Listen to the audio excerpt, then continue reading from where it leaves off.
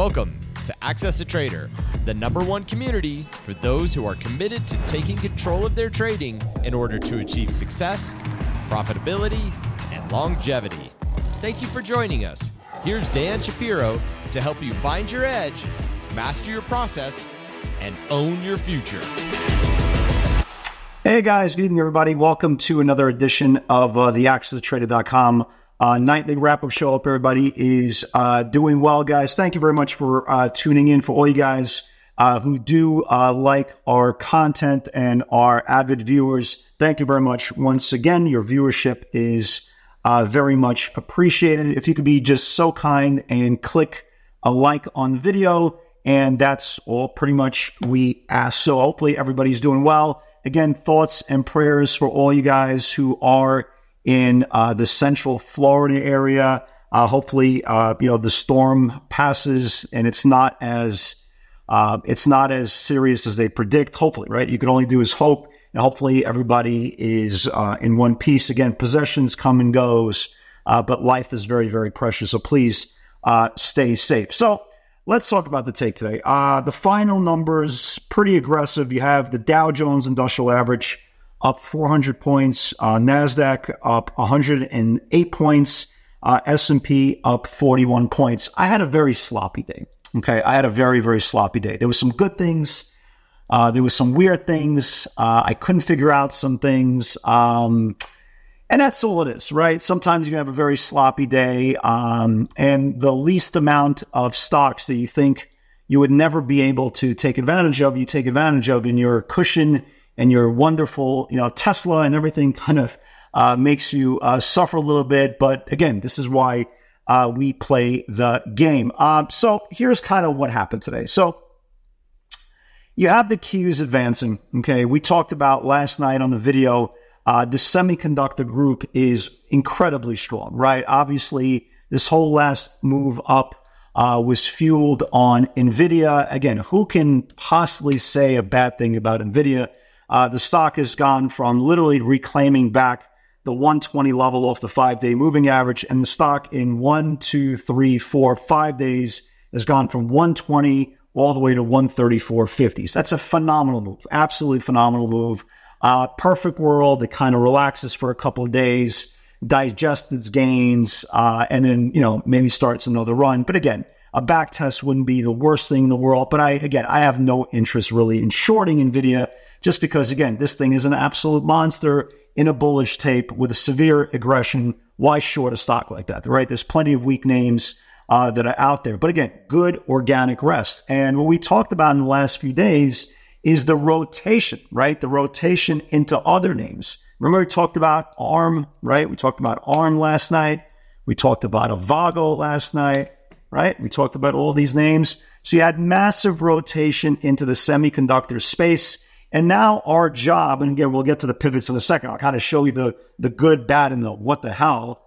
Um, but our job right now is to find stocks off the bottom of the range, right? Yesterday, you guys remember we talked about snow? Ironically, this is what saved my day. Of all things, it's going to save my day. This will save my day. But this is kind of my point. We're watching for stocks coming off the bottom with option flow, with deep out of the money short term expiration, and that's where the money is. I'll give you some uh, some names to watch for tomorrow, but uh, again, just kind of individual names. Let's kind of go through them. Tesla was very weird. Okay, Tesla not only did it take take out yesterday's lows, it took out yesterday's highs. I lost on both. Right? Think about that. Right? I lost on both. it took out yesterday's channel. It failed. It I, I went short below yesterday's lows. I lost. I got squeezed back. So it's a sloppy mess, right? It's an absolute sloppy mess.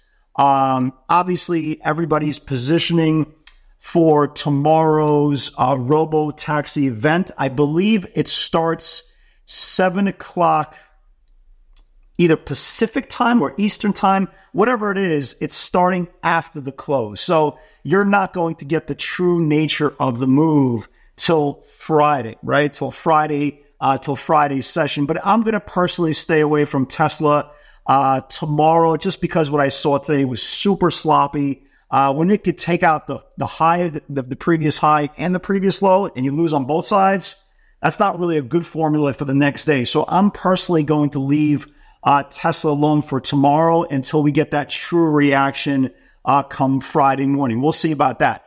Some names that definitely woke up this morning as far as the Magnificent Seven, right? You got Amazon that had a really, really ugly move from its highs, lost the five, lost the 10, lost the 20, almost hit the 50 day moving average, but had a nice move in the last couple of days and today tested the 10 day, right? Let's keep an eye on Amazon for tomorrow. If it starts reclaiming back the 10 day moving average, we could see a move back into this 187 level. Uh, we did see this morning some 185, some 9, 190 uh, short term expiration. So again, I, am definitely, definitely watching Amazon if they can start reclaiming back uh, the 10 day moving average tomorrow. Apple, right? Apple woke up today right? Apple woke up today. Again, another example of reclaiming back the 10 day moving average. Apple woke up, uh, took out one, two, three, four, five days worth of selling. That's a good thing. All now it needs to do is confirm the October 1 channel. If it could confirm the October 1 channel, maybe this thing has a day two. Again, we definitely, definitely saw some 230s, some 230, 250 uh, weeklies coming in. I, th- I think I even saw some 235s for next week, but it's going to be very, very important for Apple to get above this uh, daily channel, especially confirming uh, the 10 1 highs. Very, very uh, important uh, in that name. Uh, look at a name like Robinhood, right? So, yesterday had a big, big breakout, really, really big breakout on massive volume. Uh, yesterday it traded 39 million shares. Today it traded 22 million. So let's just call it half the volume, right? It rested on half the volume on an inside day. That's super bullish. I don't know what was going on, but if you if you check the option activity, it, it was very weird bets. They were betting the January 2026, uh, 2026, 25 and 25 and a half calls. The reason that's weird, they're betting in the money, right? They're betting in the money calls, but they're betting them two two years out. It's very very odd, but they are betting them with like almost seven figure bets, mid mid high six figure bets. So it's something we definitely want to watch for tomorrow. Again, on the standalone value, it did take out this whole channel for the July highs yesterday and put in an inside day today. Let's definitely keep an eye on Hood uh, for tomorrow, right? Definitely keep an eye on Hood for tomorrow. Uh, another name I want to, uh, another name we should definitely, definitely keep an eye on, just because again, we'll get to the pivots in a second. Um, some names coming off the bottom, right? look at Lam Research. So I never used to trade Lam Research because Lam Research at one point was just untradeable, right? It was like Chipotle, it was like booking.com, right? You know, it was like SMCI, they had a big spread, that, you know, all this crap. But, you know, now they did the split, right? Now they did the split. And again, it's not imminent yet. Okay. It, this is not a setup that's imminent yet, but let's watch this thing just in case it takes out the highs from from last week, right? I'm very interested because if they could get above this whole sneaky channel here, and again, I'm definitely watching for option flow. I don't think this trade is is going to be. I don't think this setup is for tomorrow. Uh, but the more I'm watching it, if you know, it's obviously in the right space, the semi group. If they could get back above uh, last week's supply, maybe this thing finally wakes up. But again, it's very very interesting to watch to see if the option flow uh, comes in. Look at a name like SoFi, right? SoFi is a smaller cap name, right? A smaller cap name. Uh, we saw a lot of calls coming in today. We saw the eights, the 850s, the nines. We saw some uh, November uh, 11, uh, excuse me, $10 calls come in. This is now the highest close in this whole formation. You see this, guys? Look at the weekly chart on SoFi. Okay? Look at the weekly chart on SoFi. This is now the highest close in this whole formation going back uh, going back several months. So this is very, very important. If SoFi can start building above today's channels, guys, this thing has room to the first weekly supply between 910 and 930s. Considering that's where they're betting the stock, this thing could wake up really well. Again, you have the options market trying to bet in that direction. So let's see uh, if the stock actually uh, gets there, right? Uh, a name like NTNX, I believe this is another semiconductor name. I could be wrong but I believe this is another semiconductor name. They had a big move, uh, a big new move in August. This thing is very, very close of taking above uh, those August highs. Uh, a name we definitely want to keep an eye on. Again, I, I want to watch all these names for option flow. If there's no option flow, the name, I have no interest. So kind of segue, right? Kind of segue into today's day. Again, there was some good things. There were some bad things, right? Bad things, good things, um, and some things that I just, again, I just can't explain how I could lose on both sides of Tesla, taking out the previous day's highs and lows. Whatever. Okay, things happen. So here was Avago. You remember Avago? Avago broke out yesterday. Again, here's where we're talking about the options market. Avago broke out yesterday uh, above 180 and a quarter. Today, 181.60 needs to confirm the daily daily Bollinger Band. We talked about this last night. They were coming, if you guys remember yesterday, they were coming for the 185 weeklies. Okay, 185 weeklies, and they were coming for the November 200 calls.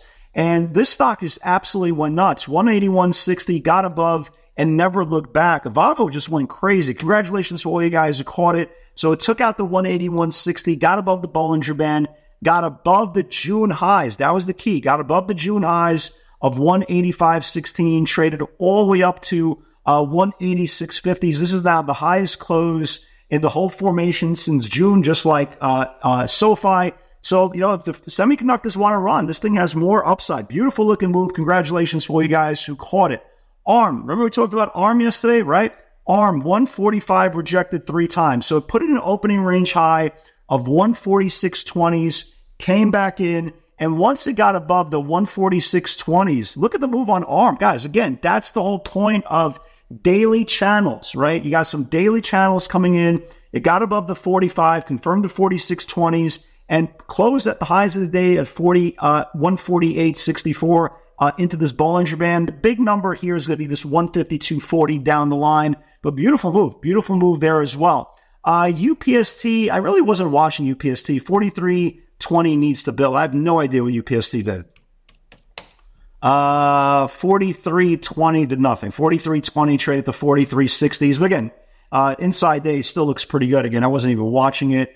Uh, Oracle went nuts. You guys remember we talked about Oracle last night's video? Uh, 174.65 uh, needs to build. That was the uh, earnings highs, right? That was the earnings highs. It got above the 174, uh, 174 uh, 60s area and just went out of its mind. Uh, traded all the way up to 78.60. Beautiful move on Oracle. Uh, Hood, we're still watching. Chipotle, we're still watching. And here's why they got a little stupid, right? Straight up stupid.